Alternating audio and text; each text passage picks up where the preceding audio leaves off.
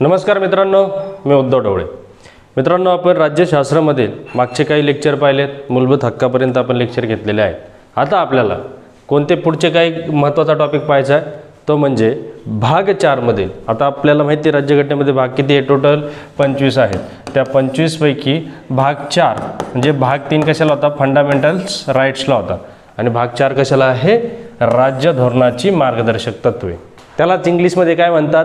D P S P म्हणतात. काय म्हणतात इंग्लिशमध्ये? D P S P. आता डी पी एस पी म्हणजे काय? Directive principles of state policy directive principle of state policy म्हणजे राज्याच्या धोरणाची मार्गदर्शक तत्वे राज्यांची धोरण ठरवण्यासाठी मार्गदर्शक तत्वे. आता मित्रांनो हा काय पार्ट आहे? ज्यावेळेस तुम्ही पी एस आयची मुलाखत द्यायला जाल राज्यसेवेची मुलाखत द्यायला जाल त्यावेळेस तुम्हाला आयोगाचे सदस्य काय विचारतात? ज्या पॅनेलमध्ये असणारा. सांगा अनुसूचित जाती जमातीसाठी कोणतं डी पी एस पी आहे? सांगा प्राण्यांच्या हत्या होऊ नये म्हणून कोणतं डी पी एस पी आहे? सांगा महिला आणि बाल बाल बाल किंवा महिला कल्याणासाठी कोणतं डी पी एस पी आहे? आपण वाचलेलं असतं राज्याची धोरणं राज्याची धोरणं ठरवण्यासाठी आवश्यक असणारी मार्गदर्शक तत्वे आणि आपल्याला माहीत असतं डी पी एस पी म्हणजेच हे आहे. त्याच्यामुळं इंग्लिश शब्दही पर्यायी करत चला. कारण कधी कधी काय होतं इंग्लिश शब्दांचा वापर होतो आणि आपल्याला वाटतं ठीक आहे प्रश्नपत्रिकेत मराठी लँग्वेज खाली इंग्लिश लँग्वेज दिली जाते. पण सांगू शकत नाही इंटरव्ह्यूच्या वेळेस जर ते असं लांबलचक शब्द उच्चारण्याच्या ऐवजी ते डी पी एस पीसुद्धा विचारू शकतात. कोण? पॅनलमधील मेंबर त्याच्यामुळे हे पण लक्षात ठेवा. जसं मूलभूत हक्काला आपण काय म्हणतो फंडामेंटल राईट्स म्हणतो तसंच याला राज्याची धोरणं ठरवण्यासाठी आवश्यक असणाऱ्या मार्गदर्शक तत्वाला काय म्हणायचं? डी पी एस पी असं म्हणायचं. आता मित्रांनो डी पी एस पीची गरज काय आहे? कशासाठी गरज आहे ते आपल्याला समजून घ्यायचे अतिशय गरजेचं आहे. त्याला एक पार्श्व ऐतिहासिक पार्श्वभूमी आहे मित्रांनो. ऐतिहासिक पार्श्वभूमीसुद्धा महत्त्वाची असते. कदाचित आयोग त्यावर सुद्धा प्रश्न तुम्हाला विचारत असते. हे ठरलं असन राज्याची धोरणं. आता मित्रांनो राज्याची धोरणं कशासाठी आवश्यक आहेत? नागरिक त्यांच्या विकासासाठी आणि नागरिकांसाठी धोरणं गरजेचे आहे. जर सरकारने धोरणंच राबवले नाही तर विकास होणार आहे का? तर नाही. मग जे काही विकासाचे धोरणं म्हणजे आपल्याला मूलभूत हक्क दिलेत नागरिकांना. नागरिकांना मूलभूत हक्क दिले एवढे सफिशियंट आहे का त्यांच्या विकासासाठी? तर नाही.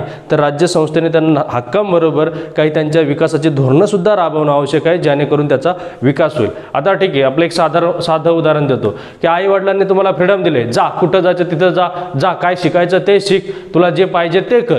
ठीक आहे दिलाय तुम्हाला हक्क दिलेत आईवडिलांनी. पण आईवडिलांनी पैसेच नाही दिले तुम्हाला तर? तुम्ही शिकणार आहे का? एम पी सी करायला जा. आई वडील म्हणतात जा तुला पुण्यात जायचं कर M P C U P C कर एस एस सी कर. काय करायचं ते कर. त्यांनी तुम्हाला फ्रीडम दिलं म्हणजे थोडक्यात तुम्हाला हक्क दिला आहे तसं राज्य संस्थेने आपल्याला मूलभूत हक्क दिलेत. पण त्या मूलभूत हक्काबरोबर जसं आईवडिलांनी तुम्हाला पुण्यात जायची परवानगी दिली त्या परवानगीबरोबरच तुम्हाला पैसा पण देणं गरजेचं असतं. तुम्हाला मेसला लागणारे पैसे राहायला लागणारे पैसे परत नाश्त्याला पैसे लागणारे लायब्ररीला पैसे लागणारे अजून खूप काही गोष्टींना पैसे लागतात. ते तुम्हाला माहिती आहे मी काय सांगत नाही.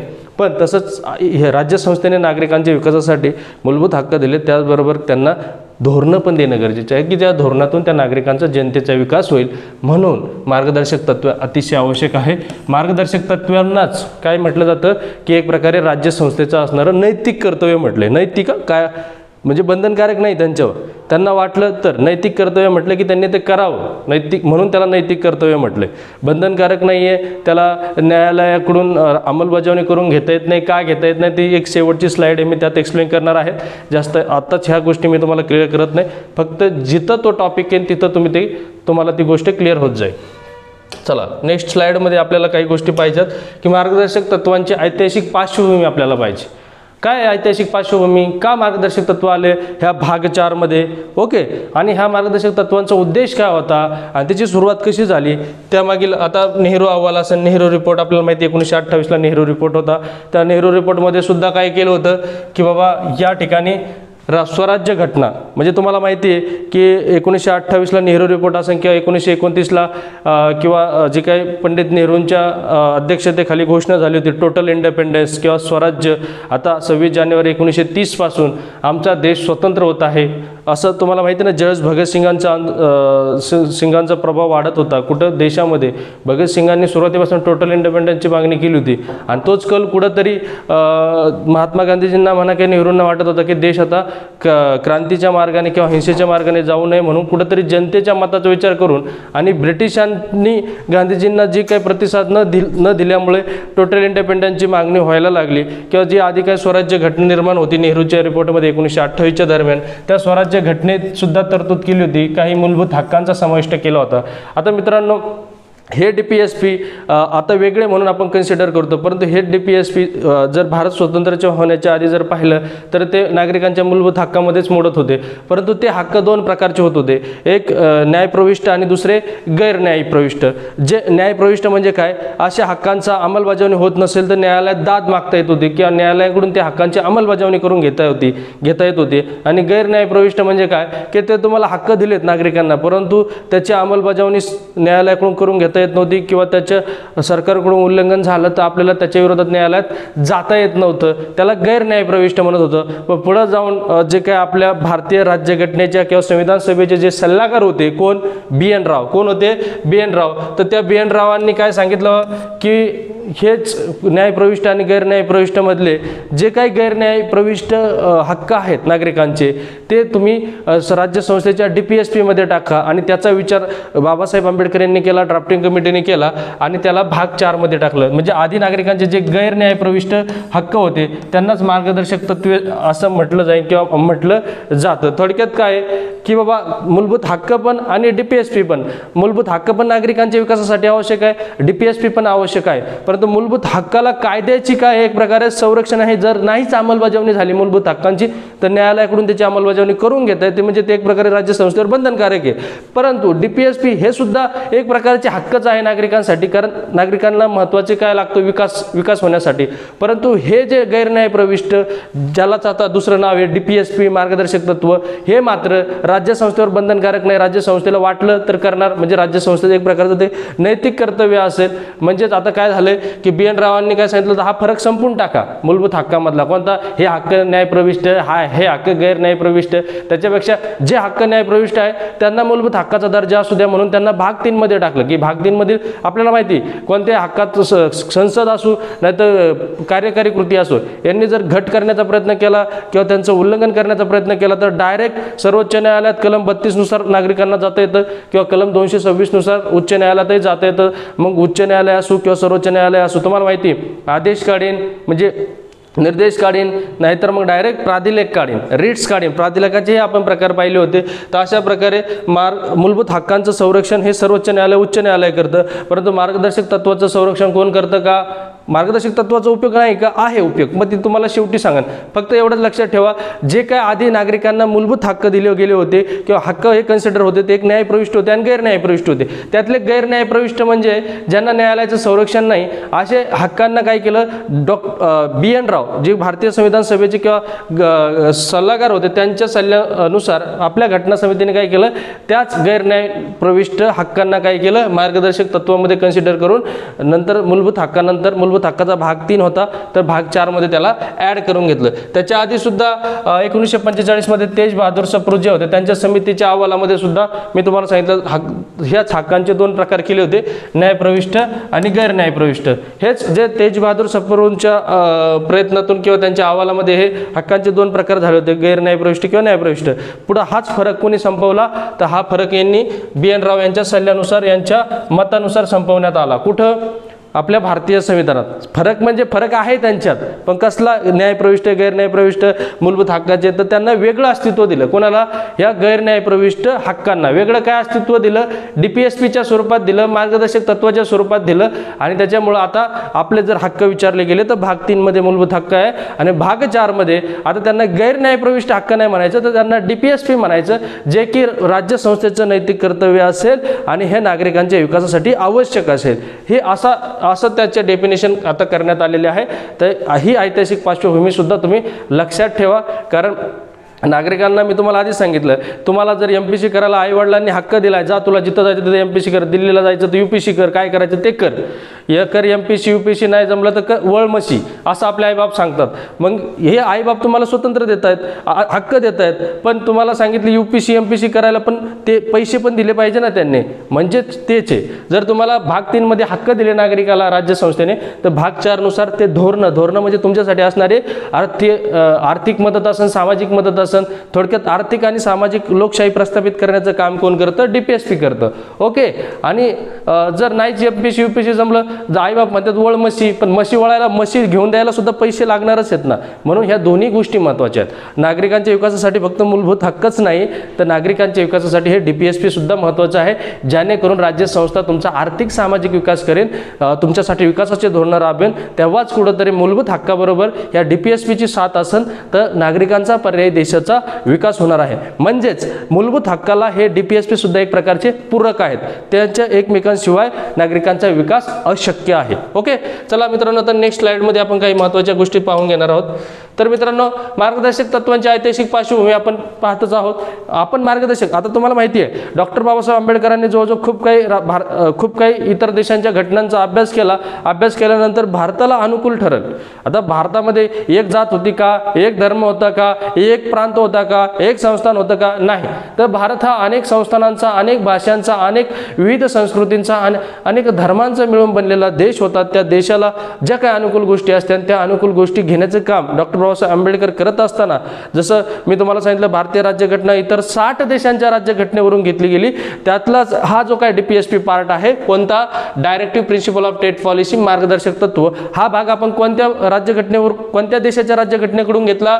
तर आपण मित्रांनो आयरिश जे आयर्लंड देशासन किंवा आयरिश घटना एकोणीसशे सदोतीसच्या म्हणजे आयरिशची जी घटना साधारणपणे एकोणीसशे सदतीसच्या दरम्यान झाली होती तर एकोणीसशे सदतीसच्या आयरिश घटनेवरून आपण हा part D P S P उचलला आहे. मित्रांनो आयरिश घटने घटनेवरून आपण अजून काय गोष्टी उचलल्यात. राष्ट्रपतीची निवडणूक पद्धतसुद्धा उचललेली आहे. ही पण बाब लक्षात असू द्या. ते आपल्याला काही पुढचे लेक्चर तर राष्ट्रपतीवर आहे. मी त्यात तुम्हाला व्यवस्थित समजून सांगेन की राष्ट्रपतीची निवडणूक पद्धत कशी असते ते. आता आयरिश घटनेवरून आपण घेतलेले आहे आणि हा आयरिशने कोणाकडून घेतले आहे? तर स्पॅनिश घटनेवरून. म्हणजे स्पॅनिश घटनेवरून डी पी एस पी कोणी उचलले? आयरिशने उचलले. आणि आयरिशच्या घटनेवरून कोणी उचलले? भारताने उचलले. म्हणजे आपल्या ज्या भारतीय राज्यघटनेमधील भाग चारमध्ये कोणता पार्ट आहे? D P S P directive principle of state policy म्हणजेच काय? राज्य धोरणं ठरवण्यासाठी आवश्यक असणारे मार्गदर्शक तत्वे. आणि हा पार्ट आपण कोणाकडून घेतला आहे? आयरिश या देशाच्या घटनेवरून घेतला आहे. आणि आयरिशने कोणाकडून घेतला आहे? स्पॅनिशकडून घेतला आहे. तुम्ही म्हणाल सर स्पॅनिशचं कशाला येतं? पण मित्रांनो आयोग विचारू शकतं. जसं मूलभूत कर्तव्यावर पी एस आय दोन हजार सोळाच्या प्रश्नपत्रिकेत विचारलं होतं की आपण मूलभूत कर्तव्य कोणाकडून घेतलं? रशिया किंवा रशियाने कोणाकडून घेतलं? जपान. अशा काही गोष्टी तुम्हाला विचारल्या गेल्या असेल तर हे सुद्धा प्रश्न आयोग तुम्हाला विचारू शकतो ना मित्रांनो? तर त्याच्यामुळं लक्षात ठेवा की आयोग हा पण प्रश्न विचारू शकतो की आयरिशनी कोणाकडून घेतली डी पी एस पी? तर स्पॅनिशकडून. आणि भारताने कोणाकडून डी पी एस पी घेतले? तर आयरिशकडून घेतले. आपण सर्व गोष्टी परीक्षाभिमुख परीक्षा आयोग जे विचारेल त्या गोष्टी जास्त फोकस करतोय. आता मार्गदर्शक तत्वांची वैशिष्ट्ये. प्रत्येक जसं मी सुरुवातीला मूलभूत हक्क शिकवले त्या मूलभूत हक्कात मूलभूत हक्कांचे काय वैशिष्ट्य आहे हे तुम्हाला जसं समजून सांगितलं तसंच याचे सुद्धा आपल्याला वैशिष्ट्य समजून घ्यायचे फुलेतन मार्गदर्शक तत्वांची वैशिष्ट्य समजून घ्यायची आता सर्वप्रथम मी तुम्हाला मार्गदर्शक तत्व काय ते सांगितलं मूलभूत हक्क काय ते सांगितलं. आता यांचं वैशिष्ट्य का बरं? याच्यावर सुद्धा पंधरा ते वीस प्रश्न तयार होतील मित्रांनो. आयोगाने आयोगाला राज्यघटनेचे पहिले एक्कावन्न कलम खूप आवडतात. त्याच्यामुळे पहिले एक्कावन्न कलम तुम्ही पाठच करा. पाठ करा त्याला पर्याय नाही. भाग चार येपर्यंत. पहिले भाग चार पुढं मूलभूत कर्तव्याचा चार आहे. हे का करा पाठ? कारण आयोगाला पहिल्या अकाउंटमधले कलम विचारतात म्हणजे विचारतात. हे दोन किंवा तीन मार्क तुमच्या हक्काचे आहे ते फिक्स ठेवा. ते तुमच्या हक्काचा बालेकिल्ला आहे त्याच्यामुळे अकाउंट कलम तुमचे पाठ होतात. पाठ करून घ्या. आणि ह्या मार्गदर्शक तत्वावर मूलभूत हक्कावर. प्रश्न शंभर टक्के एक हा प्रश्न फिक्स असतो. जर मूलभूत हक्कावर विचारला तर कदाचित मार्गदर्शक तत्वावर विचारला जाणार नाही. पण मार्गदर्शक तत्वावर विचारला तर मूलभूत हक्कावर विचारला जाणार नाही. पण कधी कधी दोन्हीही गोष्टीवर प्रश्न विचारू शकतो आयोग. पण एक फिक्स आहे की की मार्गदर्शक तत्व आणि मूलभूत हक्कावर प्रश्न फिक्स आहे ओके? आता देशा काय त्याचं? तत्वांची वैशिष्ट्य ह्या डी पी एस पीची वैशिष्ट्य काय देशाच्या प्रशासनात अत्यंत मूलभूत असून अत्यंत मूलभूत आहे. राज्य संस्थेने त्यांचा अवलंब धोरण निर्मितीसाठी करणे हे राज्य संस्थेचे नैतिक कर्तव्य म्हटले मित्रांनो नैतिक. कारण का नैतिक म्हटलंय? ते बंधनकारक नाही. राज्य संस्थे राज्य संस्थेवर हे बंधनकारक नाही. का बंधनकारक नाही? तर मित्रांनो जर यांच्यावर बंधनकारक ठेवलं असतं राज्य संस्थेवर की नाही तुम्ही हे मार्गदर्शक तत्व पाळ अवलंब केलंच पाहिजे. हे तुमच्यावर बंधनकारक आहे. नागरिक न्यायालयात गेले असते आणि हे त्यांच्याकडून राबवून घेतलं असतं. आता सरकारला राबवून घ्यायला सरकार एवढं सक्षम होतं का त्यावेळेस? नुकताच भारत स्वतंत्र झाला होता. भारतापुढे फाळणीची समस्या होती. बाहेरून आलेले पाकिस्तानातून आलेल्या नागरिकांचं पुनर्वसन करणं गरजेचं होतं.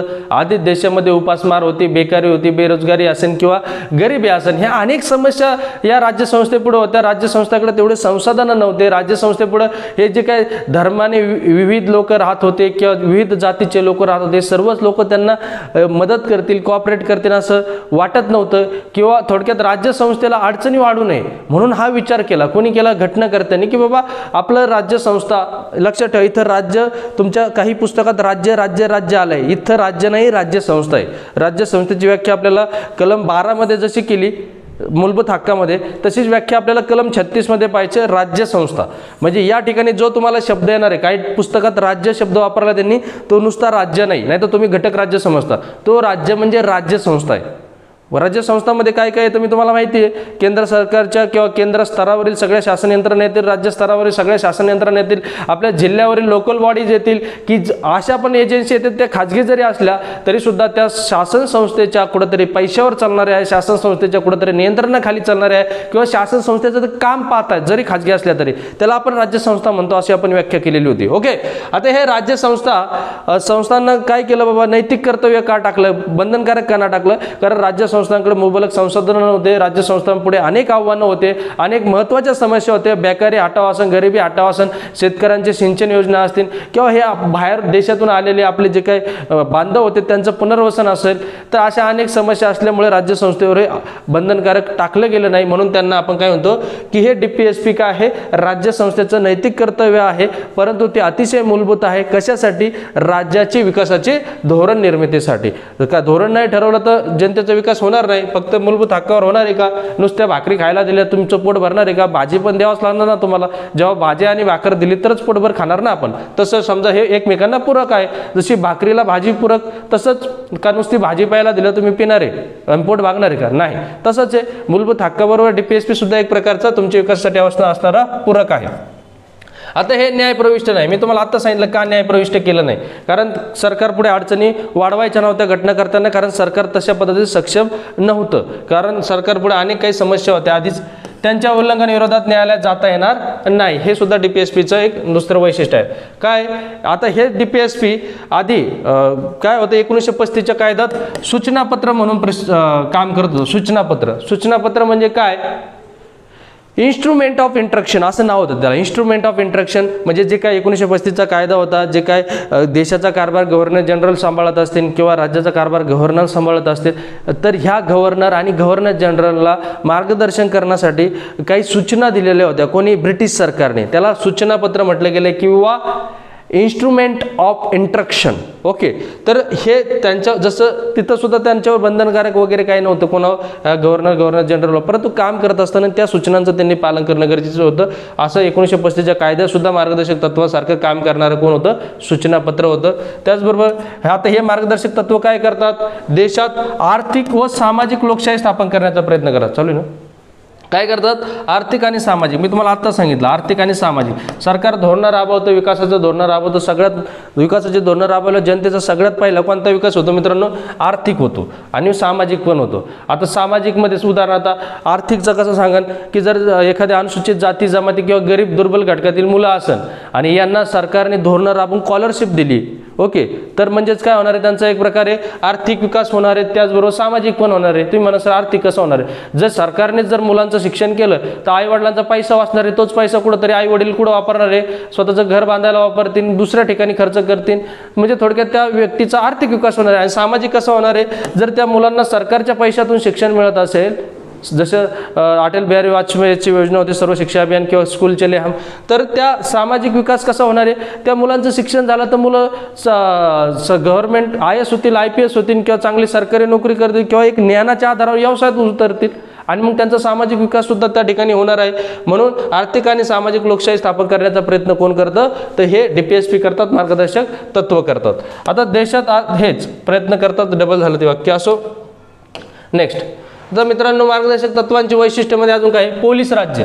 आता पोलीस राज्याच्या जागी कल्याणकारी राज्य संकल्पना मूर्त रूप देण्यात काम करतात. आता आधी पोलीस राज्य का म्हटलं जायचं मित्रांनो तुम्हाला माहिती आहे, ब्रिटिशांनी भारतावर सत्ता दोन लोकांच्या जीवा मिळवली. एक म्हणजे लष्कर आणि दुसरं म्हणजे पोलीस. आता लष्करांचा संबंध पोलिसांशी कधी येत होता? जेव्हा कुठं सॉरी लष्कराचा संबंध जनतेशी कधी येत होता? जेव्हा कुठंतरी अठराशे सत्तावन्न सारखा बंड असेल किंवा कोणीतरी विद्रोह करेल सरकारच्या विरोधात बंड करेल जसं क्रांतिकारी चळवळी असतील किंवा काय तेव्हाच कुठंतरी लष्कर पाचारण केलं जायचं. परंतु लष्करच्या जास्त लष्करापेक्षा जास्त संपर्क हा पोलिसांचाच राहायचा. कोणाशी राहायचा? तर ह्या जनतेशी राहायचा. आणि म्हणून त्यावेळेस त्या ब्रिटिश राज्याला काय म्हटलं जायचं? पोलीस राज्य म्हटलं जायचं. का? तर इथं समजा क्रांतिकारक असो समाजसुधारक असो टिळकांसारखे चांगले व्यक्ती असो की ज्यांनी नुसतं एखादं वादग्रस्त वक्तव्य तोंडातून गेलं किंवा जनतेमध्ये असंतोष निर्माण होईल असं वक्तव्य त्यांच्या तोंडून गेलं तर पोलीस डायरेक्ट कारवाई करायचे पोलीस अटक करायची पोलिसांची एवढी दहशत होती. म्हणून त्या ब्रिटिश राज्याला काय म्हटलं जायचं? पोलीस राज्य म्हटलं जायचं. पण जसा भारत स्वतंत्र झाला मग ब्रिटिशांचीच कार्यपद्धत आपण स्वीकारली बऱ्यापैकी. म्हणजे जे मॅक्झिमम म्हणजे ब्रिटिशांची जी संसदीय कार्यप्रणाली होती तेच आपण पुढे स्वीकारत गेलो. फक्त एवढंच झालं की राजकीय सत्ताचे जे काही मुंडके होते किंवा जे काही कार्य करणारे होते धुरे सांभाळणारे जे होते ते ब्रिटिशच्या ऐवजी भारतीय झाले. ओके म्हणजे गव्हर्नर जनरल समजा तिथं लॉर्ड माउंटबॅटन होता नंतर आपले राजगोपालचारी झाले असेल पुढे जाऊन राष्ट्रपती पद आला असेल त्याच्या जागेवर किंवा पंतप्रधान आपले नेहरू झाले असतील. म्हणजे पण तेच ज्यावेळेस टी पी एस पी आपल्या भारतीय राज्यघटनेमध्ये होत टाकला गेला त्यावेळेस हे जे काही पहिलं भीती किंवा एक प्रकारची दहशत होती की हे पोलिसांचं राज्य पोलीस जनतेला कंट्रोल करतात पोलीस जनतेच्या मूलभूत हक्कदागा करतात किंवा एक प्रकारचं राज्य चालवतं पोलिसांच्या जीवावर म्हणून त्याला पोलीस राज्य म्हटलं जायचं. पण आता कुठंतरी ह्या डी पी एस पीच्या अस्तित्व अस्तित्वामुळे ह्या डी पी एस पीच्या समावेशामुळे काय झालं? ह्या पोलीस राज्याच्या ऐवजी कल्याणकारी राज्य या संकल्पनेला कुठंतरी जनतेला दिसायला लागली. ओके? पुढं काय? मार्गदर्शक तत्वे न्याय प्रविष्ट नसले तरी न्यायालयांना एखाद्या कायद्याची किंवा कार्याची घटनात्मक वैधता तपासण्यासाठी मदत होते. आता मित्रांनो हे महत्त्वाचे मार्गदर्श मार्गदर्शक तत्व न्यायप्रविष्ट जरी नाही म्हणजे मार्गदर्शक तत्वाची अंमलबजावणी करून घेण्यासाठी न्यायालयात जाता येत नाही किंवा न्यायालयाचं संरक्षण नसलं तरी पण एखादा राज्यसंस्थेसाठी महत्त्वाचं आहे. हे जे नागरिकांसाठीचा त्या विषय सोडून राज्यसंस्थेसाठी महत्त्वाचं आहे. राज्यसंस्थेने एखादा कायदा बनवला आणि त्या कायद्याची घटनात्मक वैधता चौ तपासण्यासाठी जर मार्गदर्शक तत्वाचं पालन होत असेल तर न्यायालयसुद्धा त्याला आडवं येणार नाही मित्रांनो. जसं उदाहरणार्थ ओबीसींचं आरक्षण असेल ज्यावेळेस ओबीसींना आरक्षण दिलं गेलं कोणाकोण मंडल आयोगाच्या शिफारशीवर कोणी दिलं होतं आरक्षण? व्ही. पी. सिंग यांनी दिलं होतं पण ते आरक्षण काढून घेतलं गेलं होतं. का काढून घेतलं होतं? कारण ज्यावेळेस व्ही. पी. सिंग यांनी घाई गडबडीत ओबीसींना आरक्षण दिलं ओबीसींना आरक्षण देणं गरजेचं होतं का गरजेचं होतं? कारण ऑलरेडी भारत स्वतंत्र झाला त्यावेळेस डॉक्टर बाबासाहेब आंबेडकरांनी ओबीसीसाठी आरक्षणाच्या तीनशे चाळीसमध्ये आयोगाचे नियम तरतूद असेल. किंवा त्यांनी तरतूद करून ठेवली होती ओबीसींना. परंतु ती काय होत होतं की ओबीसींना आरक्षण देण्यासाठी भारत स्वतंत्र झाल्यानंतर अनेक काही समित्या नेमल्या. त्या समितीकडून असे पाहिजे तसे अभिप्राय किंवा पाहिजे तसा अहवाल न आल्यामुळे किंवा पुढ जे काही सरकार होतं मग नेहरूंचं आसन इंदिरा गांधीजींचं असन त्यांनी काय केलं होतं? त्याचं इम्प्लिमेंटेशन केलं नव्हतं त्या अहवालाचं. पण ह्याच मंडल आयोगाच्या ज्या शिफारशी आल्या होत्या साधारणपणे एकोणीसशे ऐंशीच्या दरम्यानच आलेल्या होत्या. परंतु ह्या मंडल आयोगाच्या शिफारशी कुणी इम्प्लिमेंट केल्या होत्या? तर व्ही पी सिंग यांनी इम्प्लिमेंट केलं होतं नंतर त्यांचं सरकार पडलं पण असेल. परंतु ज्यावेळेस व्ही पी सिंग यांनी ओबीसीला आरक्षण दिलं मंडल आयोगाच्या शिफारशीवर त्याच वेळेस तुम्हाला माहिती हा खूप गुंतागुंतीचा विषय आहे आरक्षणाचा. काही लोक आरक्षणाच्या विरोधात रस्त्यावर उतरतील काही लोक आरक्षणाच्या बाजूने रस्त्यावर उतरतील. कारण आरक्षण त्यावेळेस का गरजेचं होतं की आरक्षणसुद्धा एक डी पी एस पी सारखंच काम करतं की कुठंतरी आर्थिक आणि सामाजिक विकास एखाद्या घटकाचा होण्यासाठी त्या घटकाला दिलेलं आरक्षण. मग अशा वेळेस ज्यावेळेस पी व्ही नरसिंहराव सरकार सत्तेत येतं त्यावेळेस यांनी कोणी व्ही पी सिंगने दिलेलं आरक्षण ते काढून घेतात. पण त्यावेळेस सर्वोच्च न्यायालय पुढे जाऊन निर्णय काय देतं? व्ही पी सिंग यांनी दिलेलं आरक्षण हे डी पी एस पी सेहेचाळीसला अनुसरून असल्यामुळं ते आरक्षण वैध आहे. म्हणजे ह्या आरक्षण म्हणजे सरकार एखादा कायदा बनवत असेल सरकार एखादा कार्यकारी निर्णय घेत असेल तर त्या निर्णयाला जर डी पी एस पी अनुकूल असेल तर त्याला त्याची वैधता कोण डिक्लेअर करतं? न्यायालय डिक्लेअर करतं सर्वोच्च न्यायालय डिक्लेअर करतं. म्हणजेच काय? ओबीसीचं आरक्षण टिकलं कशामुळे? डी पी एस पी शेहेचाळीसमुळे. कारण डी पी एस पी शेहेचाळीस का आहे? ते आपल्याला पुढे जाऊन पाहिजे डी पी एस पी शेहेचाळीस काय सांगतं? अनुसूचित जाती म्हणजे एस सी अनुसूचित जमाती म्हणजे एस टी व इतर दुर्बल घटक. म्हणजेच इतर दुर्बल घटकमध्ये कोण आलं? O B C other backward classes यांचा सामाजिक विकास किंवा यांचा उप एखाद्या शोषणापासून संरक्षण. मग यांचा सामाजिक विकास शैक्षणिक विकास याच्यामध्ये आलंच ना आरक्षण. मग ते आरक्षण कुठंतरी वैध ठरलं. म्हणजेच याच्यावरून तुमच्या लक्षात येतं मग अनेक काही उदाहरणं तुम्हाला देता येतील. दारूबंदीचा कायदा असेल गो हत्याबंदीचा कायदा असेल कारण का? ते कायद्यांची वैधता कोण उचलून धरतं? जे पुढे येणारे डी पी एस पी आपल्याला सविस्तर पाहिजे ते समजून घ्या.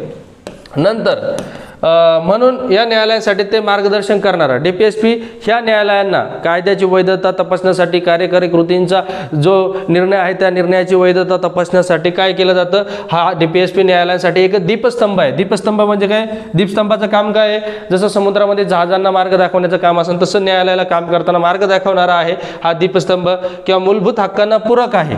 मूलभूत हक्कांना पण पूरक आहे. मी तुम्हाला सांगितलं ना चपाती आणि भाजीशिवाय जेवण नाही किंवा भाजी भाजी चपातीशिवाय जेवण नाही. तसंच आहे की मूलभूत हक्क आणि डी पी एस पी शिवाय नागरिकांचा विकास नाही. म्हणजेच मूलभूत हक्कांना ते एक प्रकारचे पूरक आहे सप्लिमेंटरी आहे. तसेच सरकारच्या कामकाजाचे परीक्षण करणारा परीक्षण करणारा हा एक परीक्षक म्हणून सुद्धा आहे. परीक्षक. ओके. मग सरकारचं कामकाज डी पी एस पीला अनुसरून चाललंय का नाही चाललंय याचंसुद्धा परीक्षण करणारा कोण डी पी एस पी एक प्रकारचा परीक्षक आहे. मित्रांनो हे झालं. डी पी एस पी मूलभूत राज्यांची धोरणं ठरवण्यासाठी जे मार्गदर्शक तत्व आहे त्यांची वैशिष्ट्ये. आता मित्रांनो ह्या मार्गदर्शक तत्वांचं वर्गीकरण विविध प्रकारे करतो आपण. साधारणपणे हे मी तीन प्रकार तुमच्यासमोर मांडलेले आहेत. आता या ठिकाणी घटनेत काय वर्गीकरण दिलेलं नाही. घटनेत सरळ सरळ त्यांचा विस्तार काय दिलेला आहे? छत्तीसपासून ते एक्कावन्नपर्यंत दिलेला आहे. बरोबर छत्तीसपासून छत्तीसपासून एकावन्न पर्यंत दिलेला आहे. भाग चारमध्ये. आता एवढंच घटना दिलंय. घटना काय त्याचा काय फरक घटनेत काय दिलंय का संविधानात की असं असं वर्गीकरण आहे तसं तसं आहे? पण कसं आहे म्हणून तर त्या पुढे जाऊन डी पी एस पी अनेक प्रकारे एक चांगल्या मतं पण मांडले गेले किंवा त्याच्यावर टीका पण झाली. कोणी म्हणे याला इलॉजिकल आहे म्हणजे अतार्किक वर्गीकरण आहे किंवा अतार्किक प्रकारे ते मांडले गेले अशी पण टीका झालेली आहे. असो परंतु ज्यावेळेस तुम्ही डी पी एस पीचा अभ्यास कराल त्यावेळेस आपण असे विविध प्रकारे वर्गीकरण मांडू शकतो. त्यातलं प सगळ्यात पहिलं सामाजिक म्हणजे काही सामाजिक विकास करणारे काही डी पी एस पी आहेत त्यांना आपण सामाजिक डी पी एस पी म्हणू. काही जन नागरिकांचा आर्थिक विकास करणारे डी पी एस पी आहेत त्यांना आर्थिक डी पी एस पी म्हणू. काही राजकीय विकास करणारे आहेत त्यांना राजकीय डी पी एस पी म्हणू. म्हणजे उदाहरणार्थ आपण जर डी पी एस पी चाळीस जर पाहिला तर त्याच्यात ग्रामपंचायतींचं संघटन असेल किंवा ग्रामपंचायतींसाठी राज्य संस्थांनी एक दिलेलं एक प्रकारचं दिलेलं स्वायत्तता असेल हे काही राजकीय असू शकतं किंवा आंतरराष्ट्रीय. आपल्याला पुढे जाऊन कलम एक्कावन्न जो पाहिजे त्याच्यात आंतरराष्ट्रीय संदर्भात जे काही आंतरराष्ट्रीय कायदे तह यांचा सन्मान करणं किंवा आंतरराष्ट्रीय तंटेल आंतरराष्ट्रीय लवादाद्वारे सोडून अशा अनेक काही गोष्टी आहेत तेच त्याला सुद्धा आपण आंतरराष्ट्रीय डी पी एस पी म्हणू. म्हणजे डी पी एस पीचे असे चार प्रकारसुद्धा आपण करू शकतो. सामाजिक डी पी एस पी आर्थिक डी पी एस पी राजकीय डी पी एस पी किंवा आंतरराष्ट्रीय डी पी एस पी त्याचबरोबर अजून काय कोणत्या प्रकारे आपण त्याचं वर्गीकरण करू शकतो? समाजवादी डी पी एस पी गांधीवादी डी पी एस पी उदारमतवादी. आता समाजवादी गांधीवादी उदारमतवादी. समाजवाद काय आहे मित्रांनो? समाजवाद कुठे घटने शब्द आहे का? तर फक्त तिथं तो प्रास्ताविक तुम्हाला पाहायला भेटेल जी की बेचाळीसावी घटना दुरुस्ती एकोणीसशे शहात्तरला ॲड केला होता. कोणता? तीन शब्द ॲड केले होते प्रास्ताविकामध्ये प्रेमबल्समध्ये कोणतं? स- समाजवादी धर्मनिरपेक्षता आणि त्यालाच आपण एकात्मता म्हणू किंवा अखंडता म्हणू. आता हे त्यामध्ये जो काही समाजवाद शब्द ॲड केला होता समाजवादी. आता समाजवादीचा मी तुम्हाला त्यावेळेस स्प्रिंबलमध्ये समजून सांगितलं. समाजवाद म्हणजे काय? आपला समाजवाद कोणता आहे? किंवा बाहेरचा समाजवाद कोणता आहे? तर समाजवाद म्हणजे थोडक्यात काय? एक प्रकारे सामाजिक विप विषमता जी असेल आर्थिक विषमता असेल ते आर्थिक विषमता नष्ट करून एक प्रकारे जनतेमध्ये आर्थिक समता निर्माण करणं हे एक समाजवादाचा प्र समाजवादाची एक व्याख्या सर्वसाधारण आपण करू शकतो. जसं भगतसिंग हे समाजवादाचे विचारावर चालणार होते. म्हणून तर त्यांनी एच एस आर ए स्थापन केली होती. हिंदू काय आपण? एच एस आर ए संघटना फिरोजशाह कोटला दिल्ली या ठिकाणी स्थापन केली होती. आता हे समाजवादीचे जे काही काही डी पी एस पी जे काय आहे ते समाजवाद एक्स एक्सपोज करतात किंवा एक्सप्रेस करतात. आता कोणत्या डी पी एस पी समाजवाद एक्सप्रेस करतात? तर मित्रांनो एकोणचाळीसमध्ये काय आहेत की बाबा जे काही मालकीचे साधनं जे आहेत त्याचं विकेंद्रीकरण करा. म्हणजे ते समाजवाद होईल. आपण आपल्याला मी तुम्हाला प्रत्येक डी पी एस पी सांगणार आहे की हा समाजवाद होतोय का? हा उदारमतवादी होतोय का गांधीवादी होतोय? आता मित्रांनो तुम्ही म्हणा गांधीवादी. आता आपल्याला पुढे काही कलम आहेत त्रेचाळीस असेल किंवा चाळीस असेल. आता चाळीसमध्ये ग्रामपंचायतींना स्वायत्तता हे गांधीवाद सुद्धा येतो या ठिकाणी एक प्रकारचा.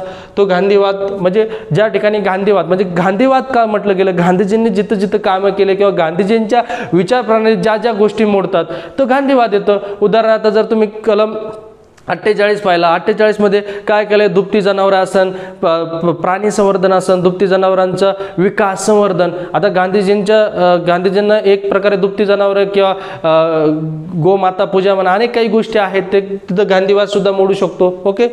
उदारमतवादी. आता उदारमतवादी असे समाजवाद गांधीवाद उदारमतवादी असे अनेक काही तत्व संकल्पना आपल्याला त्या ठिकाणून दिसून येतात त्या तत्वांतून म्हणून ते असे पण वर्गीकरण करता येतं. किंवा ह्या प्रकारे सुद्धा डी पी एस पींचं वर्गीकरण करता येईल. कोणतं? समाजवादी गांधीवादी शैक्षणिक व सांस्कृतिक काही ठिकाणी संस्कृ शैक्षणिक व सांस्कृतिक विकास जनतेचा इंडिकेट होतो. काही ठिकाणी आंतरराष्ट्रीय संदर्भ म्हणजे कलम एक्कावन्न बेचाळीसव्या घटनादुरुस्तीने काही ठिकाणी भर केलेली आहे. कोणती डी पी एस पी बेचाळीसव्या घटनादुरुस्तीने ॲड झालेले आहेत ते आपल्याला पाहायचं आहे मित्रांनो. एकोणचाळीस ए ए आसन एकोणचाळीस एफ असेल पुढे जाऊन अठ्ठेचाळीस ए असेन अशा अनेक काही डी पी एस पी आहेत ते तुम्हाला सविस्तरपणे मी समजून सांगणारच आहेत. काही संकीर्ण आहेत म्हणजे समिश्र आहेत. संकीर्ण म्हणजे समिश्र. काही ठिकाणी गांधीवाद पण येतोय समाजवाद पण येतोय काही ठिकाणी आंतरराष्ट्रीय संदर्भ पण येत असेल. असो उदारमतवादी तत्व आहे उदारमतवादी तत्वसुद्धा या ठिकाणी काही डी पी एस पीमध्ये येणार आहे. असे विविध प्रकारे आपण वर्गीकरण करू शकतो आपल्या अभ्यासासाठी किंवा डी पी एस पी समजून घेण्यासाठी. आता मित्रांनो आपल्याला